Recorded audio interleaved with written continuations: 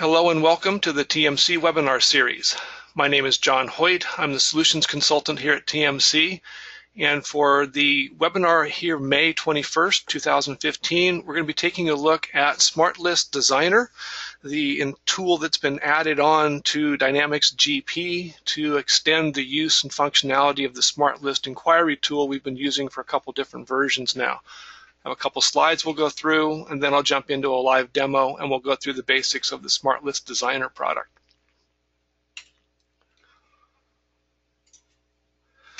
I want to start by bringing up the roadmap diagram for GP. Uh, we're now in GP 2015 H1. We're getting ready to release GP 2015 R2. That'll probably be coming out next month. And that fills in with the release cycle that Microsoft has adopted for the GP product line, where we're going to be getting either a service pack or a R2 release about every six months or so. You can see the list of functionality that we've been adding over the past couple of products. And I specifically wanted to bring up this slide just so we can show you where SmartList Designer fits into the mix. SmartList Designer is available for anybody who is on GP 2013 Service Pack 1 or more recent. So Service Pack 1, Service Pack 2, R2, and of course through GP 2015 and going forward. If you're on the original GP 2013 and haven't upgraded from that point for whatever reason, you won't be able to use SmartList Designer yet, but as soon as we can get your upgrade scheduled and you're ready to go to whatever version you move up to, then you'll have SmartList Designer available. A couple different things I want to use and when I talk about SmartList Designer, why I think this is a tool that people should be considering and making more use of than they currently are. First and foremost, of course, just access to better intelligence means you and your people can make better decisions. The more efficient that we can make that process, the more accurate we can make that process, the better decision making you'll get as a result. Better decision making, of course, leads to a more streamlined business process.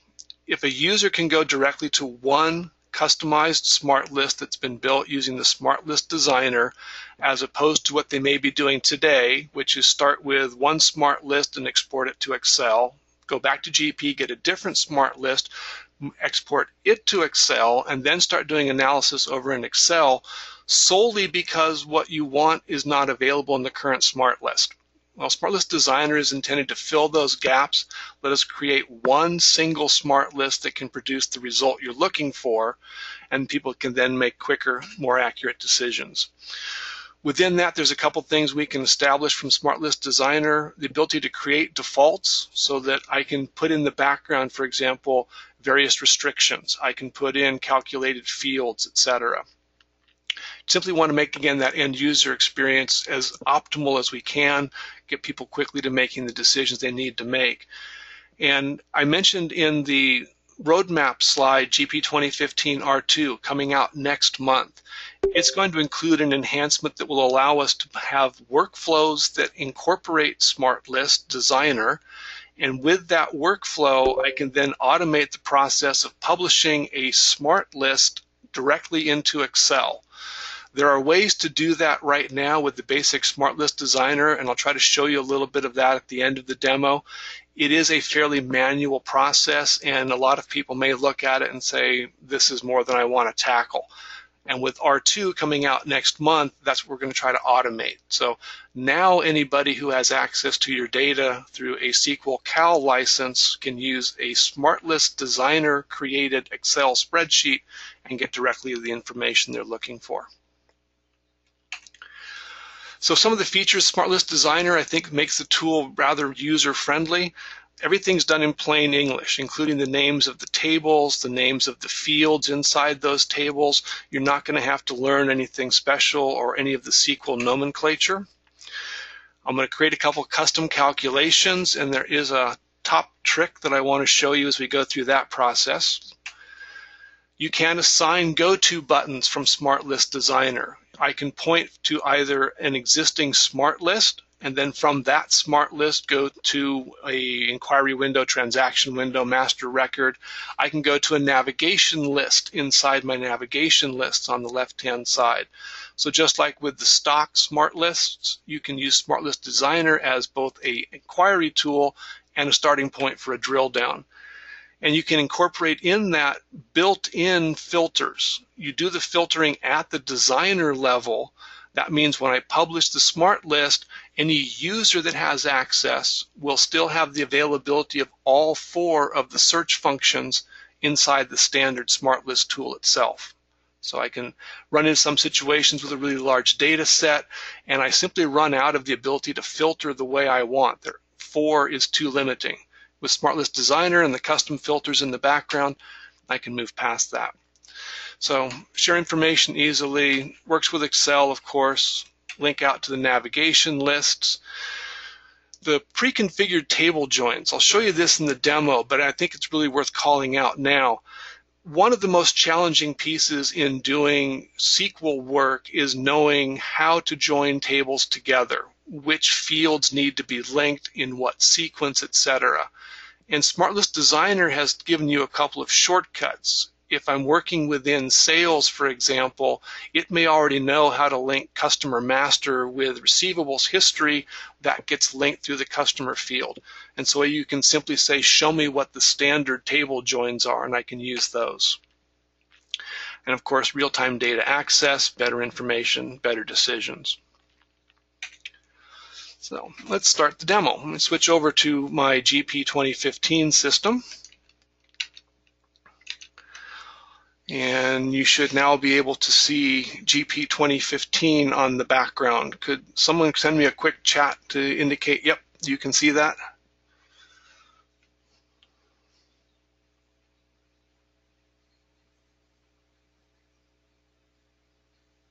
Thank you, Brittany. Appreciate it. Okay, so SmartList and SmartList Designer. SmartList itself, as some of you have seen if you've upgraded recently, has had a couple of changes made to it in the way it looks and feels. Some of those include things like we now have the ability to both increase or decrease the width of the folder panel.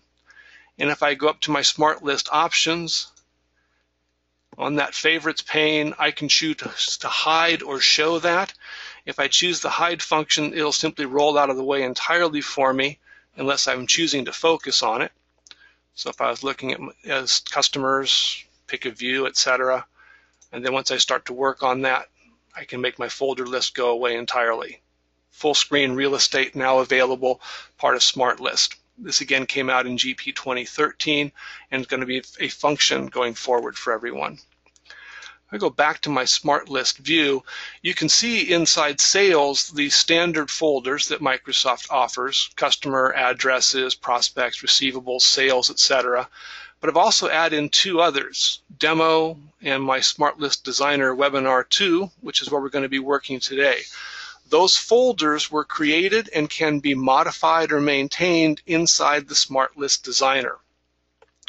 And you'll see across the action bar at the top of Smart List right now, there's a bunch of grayed out buttons for me because I'm focused on a folder. I'm not focused on an individual view. So things like search, refresh, columns, favorites, those don't become visible, of course, until I light up one of my actual favorites. Now I get the ability to control all of that. With a folder that's been created via the Smart List Designer, in addition to those abilities, refresh, columns, etc., I also get access to the Modify button. This is a tool that I can use to open the Smart List Designer. So when I click on Modify, it takes me into the Smart List Designer tool and it brings me specifically to the Smart List that we were focused on. So my Smart List Designer Webinar 2 comes up for me. That list name here will correspond to the folder name you're going to create in the Smart List structure. Now, SmartList gives me the ability to look inside Microsoft Dynamics GP for data. It also allows me to look inside any other product that I have registered as part of my Microsoft Dynamics GP implementation. So fixed assets is going to be in here, human resources, payroll, field service, manufacturing. I can go on and on down the list of all the different modules. They're all part of the Smart List Designer tool, and I can create custom Smart Lists based on any of those. I can also do that for any third-party products that I might have licensed. If I'm using products from Binary Stream, for example, they'll be visible here. As a quick compare and contrast between Smart List Designer and Smart List Builder, and I'll come into more detail about this later, Smart List Designer is free from Microsoft. Smart List Builder is an add-on product from a company called eOne. If you need to incorporate data from a non-GP system, so you've got an external e-commerce site, you've got an external CRM system or something, Smart List Builder from eOne will allow you to combine that external data into Smart List and view them inside GP. The Smart List Designer is limited to only those products that are registered as part of your GP package. If you've got questions about that, you can contact either myself or Jim later, and we can give you some details and some guidance on that. Once you've selected the product you want to work with, the series value here is going to correspond to what part of that product do you want to work with. It will also determine which folder in the smart list structure the results will be published. If I pick sales here, that's what it will publish. If I chose from the product list, say fixed assets, then I would see it show up in the fixed assets folder over inside the smart list folder structure. Having given it a name, selected my product and what series I want to work with, I now get a listing in the left-hand column here of all the different tables that GP is aware of, and I can work with any of those. If I expand out the dynamics, the table structure within Dynamics is broken out into the major module groups. And what I've elected to work with in my example here is two different sales folders or two sales tables rather. And you can see them detailed here up in the top. Sales transaction history is my first table. And if I scroll down to the bottom a little bit, I'm also going to work with the salesperson master. This selected fields box is going to show me every value that I have selected from the different tables that I want to work with. So you can see that RM Salesperson Master has a checkbox. If I expand that out and I scroll down a little bit, the check mark here indicates that commission percentage is one of the values that I want to have exposed inside my smart list. To add additional values, additional columns, I can simply go through and pick whichever ones are relevant to me, put a check mark next to it, and that's going to be everything I need. So I have salesperson ID. I can put first name, middle name, last name, etc. Every time I make that check mark, I'm simply adding in that value to the selected fields that I want to work with. Now in this particular smart list, I'm working with two different tables. Sales transaction history, that's going to be the source of all my data about historical invoices. What I'm looking to create essentially is a commission report. And the commission report is something that you can't do in a standard smart list because I'm either looking at the salesperson information or I'm looking at the transaction, but I can't see both. So I'm going to create this smart list to accomplish that task. So I need commission percentage for my salesperson. I've grabbed the name information as well. And then across the top, I'm grabbing the different sales order types the numbers, the documents themselves, who's the customer, extended cost, document amount, and who's the salesperson. In the relationship section, I've joined those two tables together. And I've done that by selecting from the tables I've chosen above in the selected fields. That's available here as a drop-down. So in this case, I want to join sales transaction history via the salesperson ID field I'm going to do a left outer join, which is indicative of a value may exist in one table, but may not exist in my joined table. And I'm okay with that relationship. I can also do inner joins and cross joins, and I can give you the details of what those different joins represent. They're in the documentation that's provided for SmartList Designer, etc and I'm going to join my sales transaction history to my RM salesperson by that salesperson ID.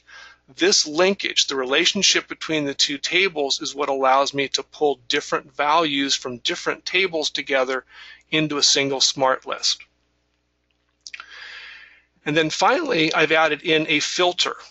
I can add as many filters as I want. In this case, I only want to look at documents where the SOP type is looking at invoices. I don't care about returns. I don't care about back orders or orders or anything else. I just want to see the invoices out of that history. So with those basics put in place, I have the tables that I want to work with and the values within those tables. Those show up in my selected fields view. I've indicated the relationship between the two tables that I'm joining. And finally, I've set a filter to reduce the, or restrict the output. Now, one of the really neat things about Smart List Designer, I have an execute query function. This is essentially a preview. If I hit that execute query, it'll go through the data and try to pull together from the tables that I've joined and the columns that I've asked for and my restrictions. And down across the bottom, I now get a preview. This is what Smart List will look like if I click the OK button hmm. and I publish this view out. And I can scroll across and see all the details that I've added. The names have been added, for example, extended cost, document amount, commission amount. All of this is working pretty good. If I hit OK now, and I go back into my primary view, you can see I now get all those same results. So only invoices, the document numbers, the amounts, who's the salesperson, etc. And because I did my filtering in Smart List Designer, the search function is still fully open to me. So I could now do searching within this result set for specific sales rep, for specific territory, for specific customer class, for a specific date range, and have all four of those values still available to me.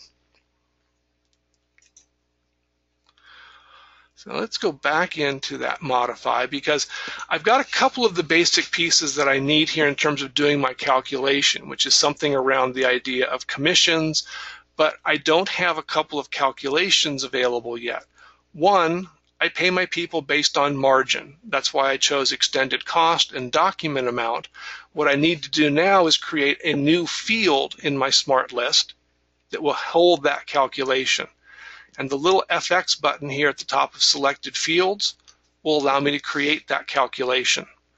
You can create as many calculated fields as you want to add onto a smart list, and the calculations can be based upon one another. So I can start to level calculations one against another. So when I choose add to create a new one, I need to give it a name. This will be the column header that will be displayed inside the smart list.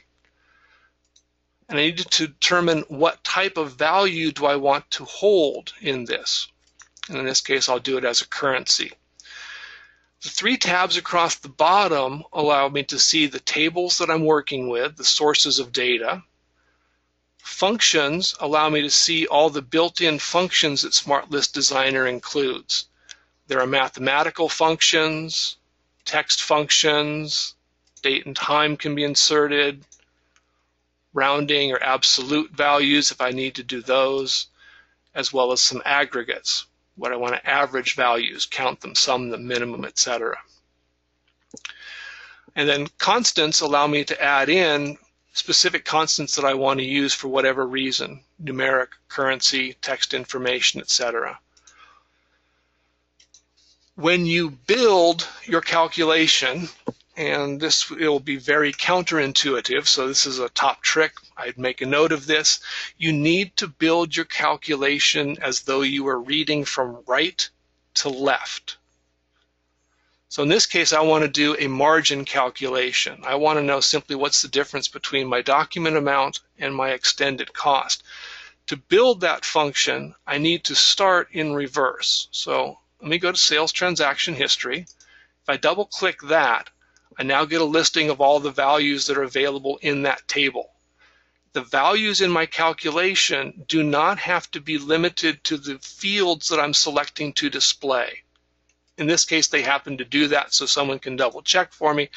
But if I want to work with any of the values from the table, I can. And scroll down through my list.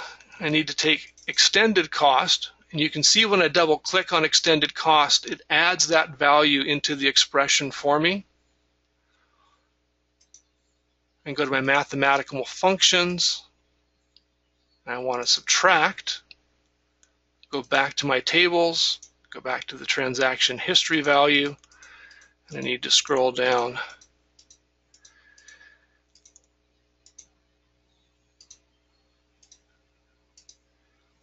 And there's my document amount. So now the expression is going to read for me, take sales transaction history doc amount and subtract sales transaction history extended cost. Go ahead and click save.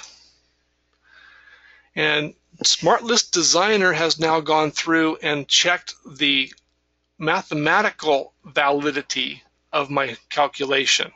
It's simply telling me that the values it's been asked to calculate makes sense. It's not necessarily confirming that it's going to produce the calculation I'm looking for.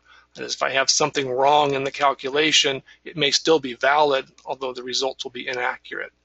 But because it's valid, it says there's no errors in the structure, no errors in the data it's being asked to pull. I'm not asking for currency to be subtracted from a date, for example. Now I've added in document margin. I can go ahead and click OK and that field gets added into my smart list like any other field that I would have selected from a table. If I click OK now, and go down to my stock view,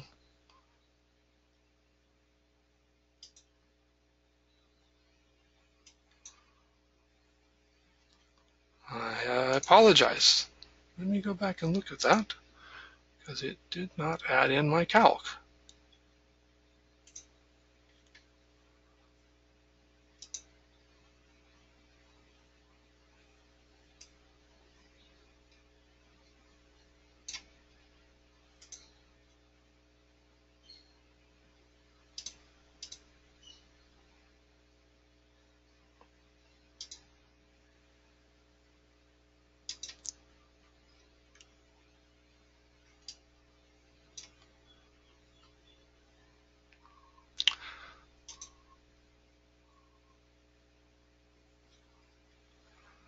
Let's try this.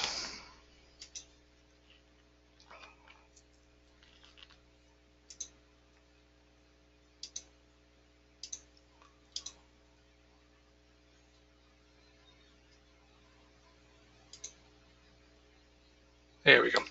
So now I get the document margin that I asked for. So the calculation is now complete. Difference between document amount, extended cost, creates a document margin. I can now go back in and modify this again and say, okay, let's convert that document margin into a percentage margin. And now I can pay my commission salespeople based upon the margin that they've earned for me on that particular transaction as opposed to basing them on, let's say, the full document amount. I want to commission based on margin, not based on revenue or something of that nature. So I will pause at this second and ask uh, if there are any questions. Let me take people off mute and I will hope that we don't have someone on hold. And unfortunately we do. So um, chat function is open. If you have any questions up to this point, please go ahead and put a question in there. Uh, happy to answer those. Um, of course, the rest of SmartList design or SmartList at this point is going to be available to me. So one-click X to Excel, to Word, etc. And then all the various drop downs that I have included. You know, none of this has changed in terms of SmartList.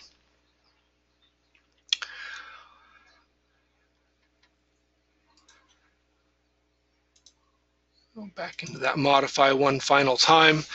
And again, the Details of my SmartList design are available to me. The execute query function allows me to do the preview. And the final piece I'll talk about in SmartList Designer, this T-SQL query, this allows me to convert what I have created above using the folder structure and selecting the tables, columns, calculation fields, etc. that I want. All of that is now available as a T-SQL query that I can simply copy and paste. And this is what we've done previously to create versions of refreshable Excel reports. I need to take this SQL query and migrate it now into the connection string that I'm building inside the data tab of an Excel spreadsheet that I want to become refreshable. As I mentioned in the slide deck, with GP 2015 R2 coming out next month, we're going to automate that process and create a simple workflow that allows me to take anything I've built or modified inside the Smart List Designer and simply put it through workflow and publish to Excel and you won't have to do anything manual in terms of building that data connection, embedding the T-SQL query and the connection permissions, etc., anything of that type.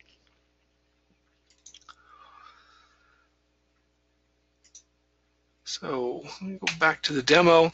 I want to talk real briefly, we've got a little bit of time left. Um, the differences between Smart List Designer and Smart List Builder.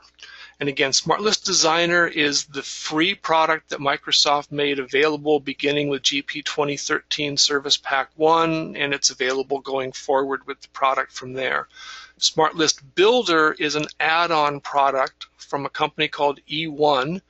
They were the original developers of the SmartList product. They then sold it to Microsoft.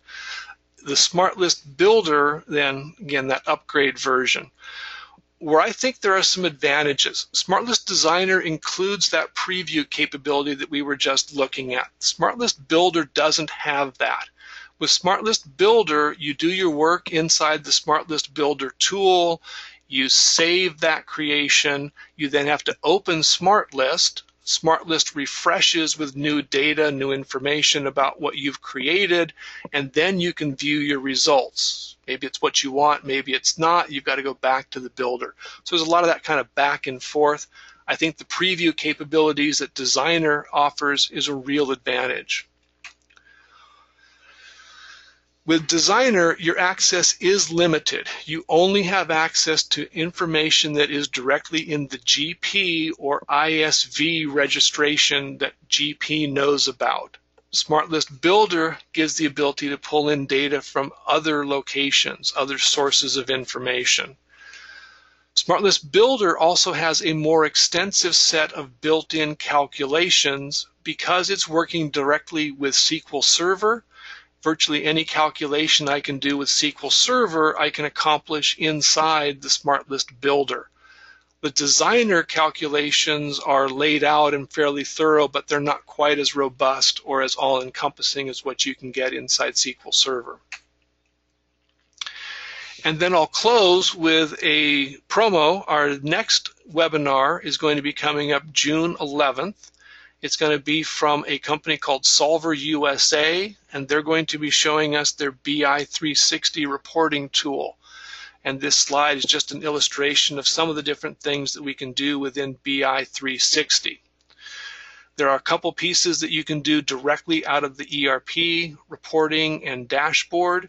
If you want to incorporate things like planning and collaboration, or data from other sources, from CRM or e-commerce, something of that type, then we would need to talk about putting a data warehouse in place to first hold all of that combined data, and then the reporting, planning, dashboard tools take advantage of all of that. Uh, thank you very much for your time and attendance today. Uh, if you're interested in learning more about the advanced features that the Smart List Builder tool offers, again, that's the product from eOne, you can contact Jim Kaltzis. He's our account executive. You can also reach out to me, of course. We'd be happy to provide you with more information about that Smart List Builder tool and its capabilities, and I can even arrange to show you a demo of that if that would be something you'd be interested in seeing. So again, thank you very much for your time and attendance today. I'll leave the chat open for a couple of minutes if people have questions. I am going to stop the recording at this point.